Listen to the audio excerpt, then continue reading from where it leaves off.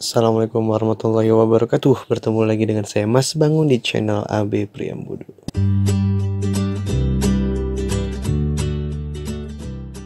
Pagi hari ini saya akan sedikit memberikan sebuah tips mengenai fitur terbaru dari WhatsApp yaitu kunci dengan sidik jari Tentunya handphonenya ada fingerprintnya. Kemudian yang kedua, teman-teman harus update WhatsApp-nya. Buka Playstore-nya, kemudian ketik WhatsApp dan update.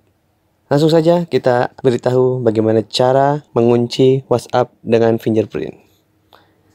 Pertama, buka WhatsApp-nya. Ketik tanda titik tiga yang ada di pojok kanan atas. Ketik setelan.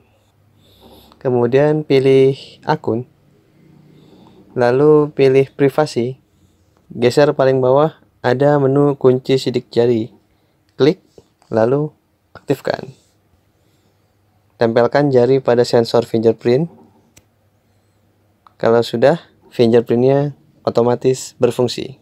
Bagaimana cara membuktikannya? Kita tutup dulu WhatsApp-nya. Kita buka lagi. Oke, berarti sensor fingerprintnya sudah berfungsi. Tinggal tempel jari di sensor fingerprintnya dan terbuka. Sekian video tutorial kali ini, semoga bermanfaat untuk teman-teman semua. Jangan lupa subscribe, comment, and share video ini agar kebermanfaatannya semakin luas. Oh ya, satu lagi, jangan lupa aktifkan notifikasi loncengnya supaya teman-teman mendapatkan pemberitahuan ketika saya mengupload video baru. Terima kasih telah menonton video ini. Assalamualaikum warahmatullahi wabarakatuh.